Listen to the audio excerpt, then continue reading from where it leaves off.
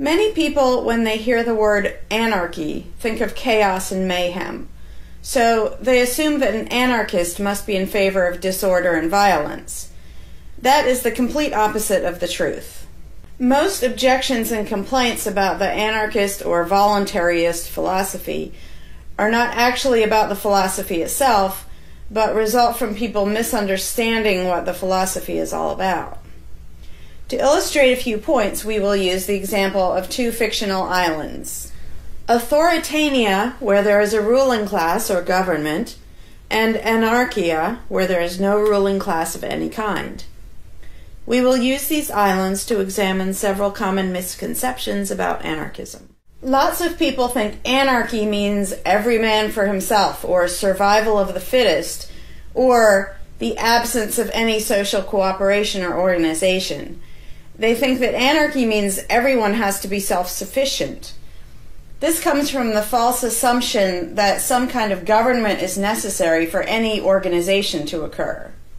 Whether it's part of a republic, a democracy, a kingdom, or a dictatorship, a ruling class issues orders called laws and punishes anyone who disobeys them. That is not cooperation. That's domination. It's one group forcing its will on another.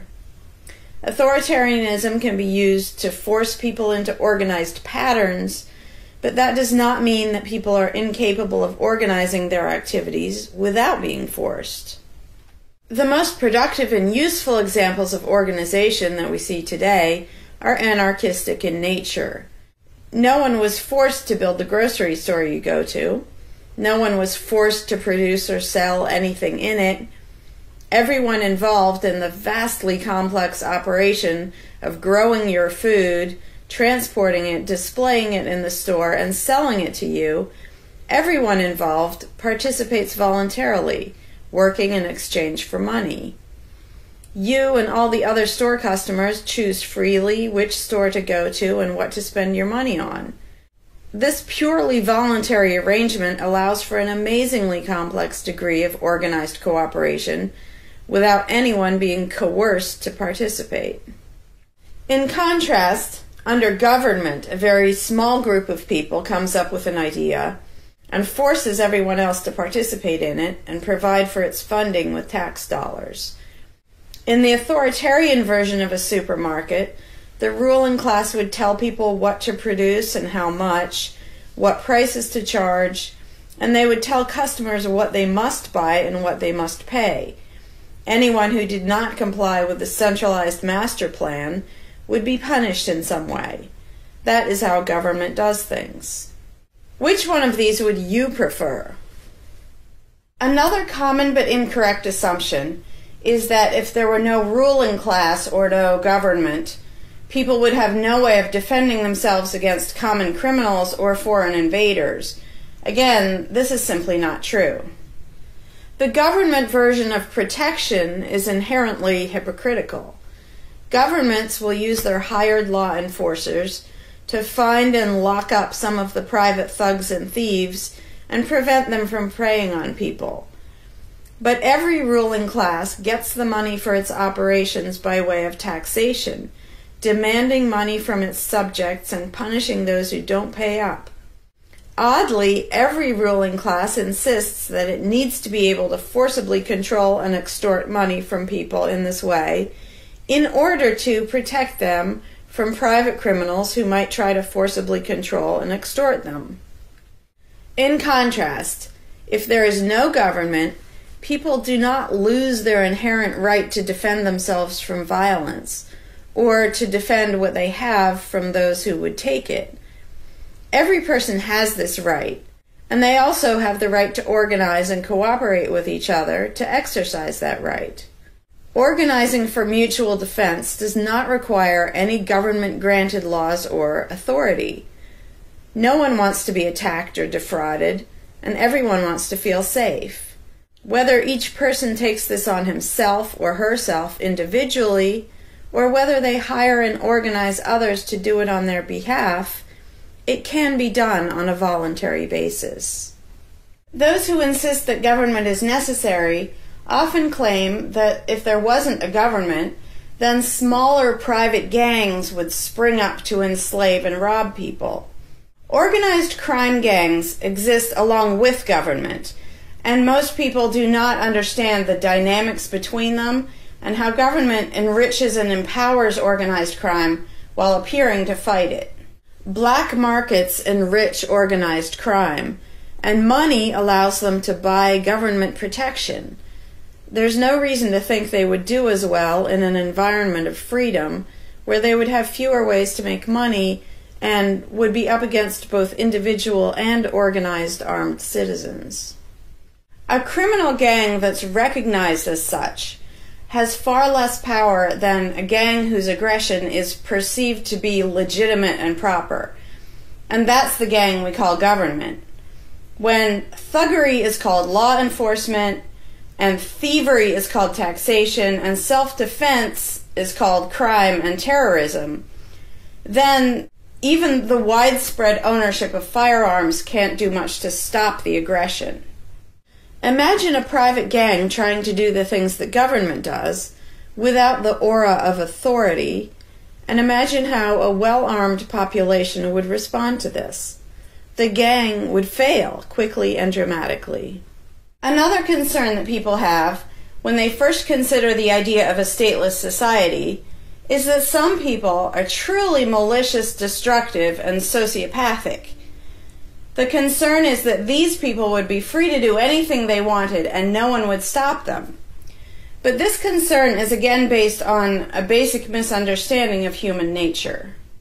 Wherever we have a government ruling class, we still have freelance thieves and thugs who are not deterred by the laws of the politicians. In some instances, they're stopped by force by the police, or they decide not to commit a crime for fear of what the police might do to them. What makes this deterrence work is not the legislation or the official badges, but the simple threat of harm to the sociopath. It really makes no difference whether the threat comes from the police, or another citizen, or even another criminal. A sociopath doesn't care about laws or social rules. He cares about avoiding pain and hardship for himself. This is still true when a government ruling class is not involved at all. If the intended target of a would be carjacker pulls out a gun, it doesn't make any difference to the carjacker whether that person has a badge or whether there's a law against taking people's cars. Discouraging nasty people from hurting others does not require special authority, only the ability to use defensive force. Ironically, though people hope that government will protect them, having a government, a gang which is believed to have the right to tax and control people, just creates one gang so big and powerful that normal people can't resist it. In short, to create a huge gang and then give it societal permission to control and extort people with the hope that this gang will prevent theft and thuggery is simply a self contradictory idea, but that's what government always is. Some people might assume that if people organize for mutual protection and defense, then that's what government is. But there's an essential difference people coming together to do something that everyone has the right to do, such as defend yourself, doesn't require any special authority. It's not government unless one group of people claims the right to do things which others do not have the right to do, such as taxing and controlling innocent people. Organized defense can be very effective without supposing the special right to rule over others in other words, without being government. In contrast, governments rob the people they rule of far more wealth than private crooks could ever manage, making the idea of a protector government ridiculous. Another common objection to the idea of a stateless society is the notion that if not for a group of lawmakers telling the rest of us how to behave, we would all behave like stupid, irresponsible, violent animals. This claim implies one of two things. Either we normal people have no idea what is right and wrong unless and until politicians tell us, or The only reason we want to do the right thing and coexist peacefully is because politicians told us to. A quick examination of your own motivations will show you that neither of those things is actually true. It's particularly odd to make this argument in a society where politicians are voted into power. If the people themselves have no moral code and no conscience and are just stupid, violent animals, why does almost everyone want government to keep the peace and protect the innocent? Would a population of vicious, heartless, evil people try to elect good people to keep the evil people in line? Obviously not. The goodness and the desire for order and peace comes from us, not from the lawmakers we vote into office. The same holds true of everything that government does. If people are so short sighted and selfish that they can't be trusted to voluntarily organize and raise money for whatever they deem important, then how can those same people be trusted to decide who should be in power? The implication is that the average person can't be trusted to run his own life, but can be trusted to choose someone to run other people's lives. Government is really not a civilizing influence. It's actually an uncivilizing influence. People who would never personally rob their neighbors constantly use the government to do it for them by way of taxation. People who would never dream of trying to control minute details of their neighbors' lives think it's just fine to vote for politicians to do it instead. Government gives everyone the opportunity and encouragement to rob and control other people without risk. So, government rather than serving as a check against the imperfections of our nature, instead drastically amplifies our greed, irresponsibility, and malice towards other human beings by giving us a legally acceptable and risk free way to interfere with the lives and choices of our fellow men and women. Government brings out the criminal and busybody in everyone. In contrast, in the absence of a ruling class, people would lose their ability to ask lawmakers to interfere with their neighbors' lives. And we would not have law enforcers who could avoid responsibility for evil deeds by claiming that they were just following orders. Throughout history, far more theft, assault, oppression, and even murder has been committed by those acting on behalf of a supposed authority than by anybody else even basically good people, when they believe in government, will condone things or do things which they know would be wrong if they did them on their own. Most people know that theft and assault are bad, but they imagine that controlling their neighbors and forcing them to spend their money on things they don't want is perfectly moral and legitimate when it's done by way of the political process. Wrong becomes right when it's called taxation, legislation, regulation, and war. Anarchists know better. They know that human society will never be perfect. But it would be a whole lot better if evil deeds were committed only by genuinely nasty sociopathic people rather than being committed wholesale by basically good people who think that violent aggression is okay when it's called law enforcement. The fundamental principle of voluntarism is very simple. It's wrong to initiate violence against any other person, regardless of badges, laws, or alleged authority. The only time the use of force is justified is to defend against aggression. Almost everyone understands this on a personal level, but they've been taught that this basic rule of social living does not apply in the game of politics and government. Most people already know how to get along with others, and most people want a peaceful and just society. Our morality doesn't come from politicians making laws. Our ability to organize and cooperate doesn't come from the ruling class.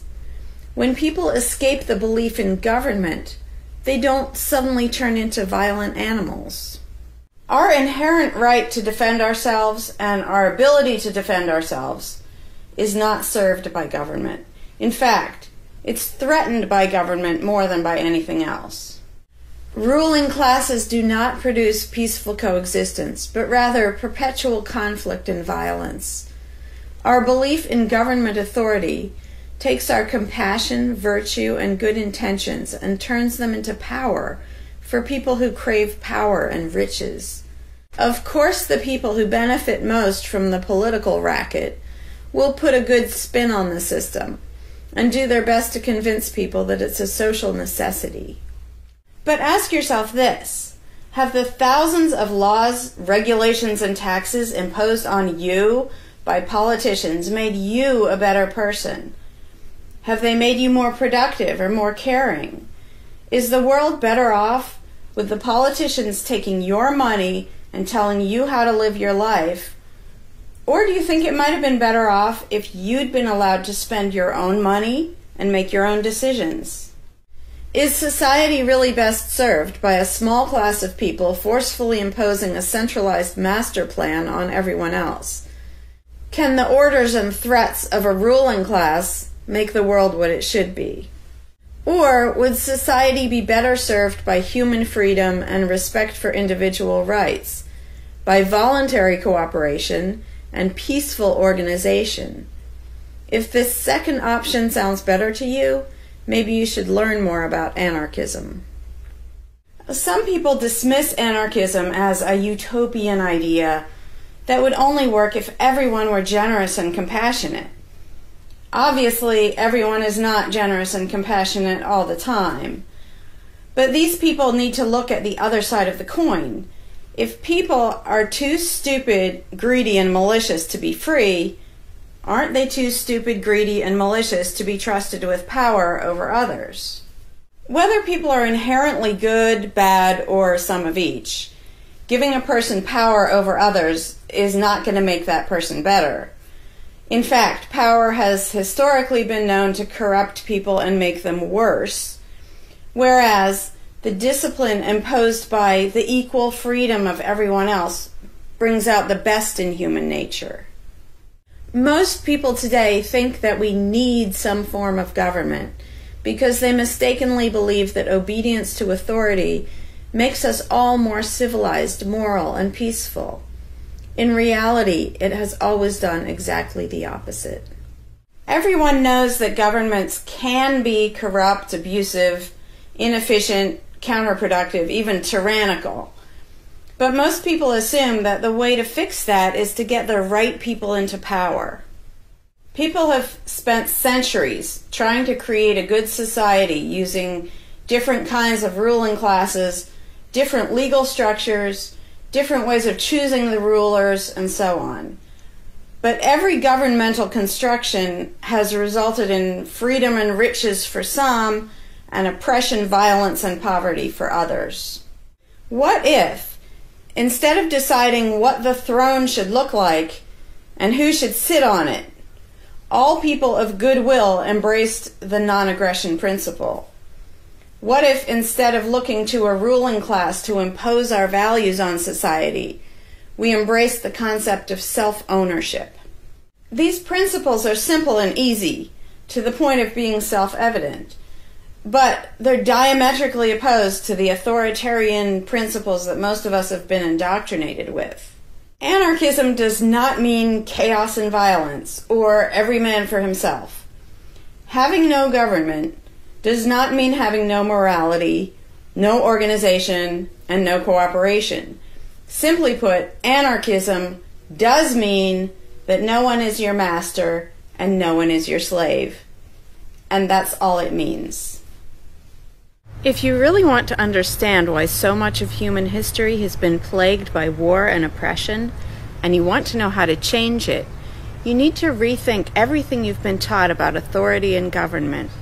For that, I suggest you read The Most Dangerous Superstition, available at larkenrose.com and amazon.com.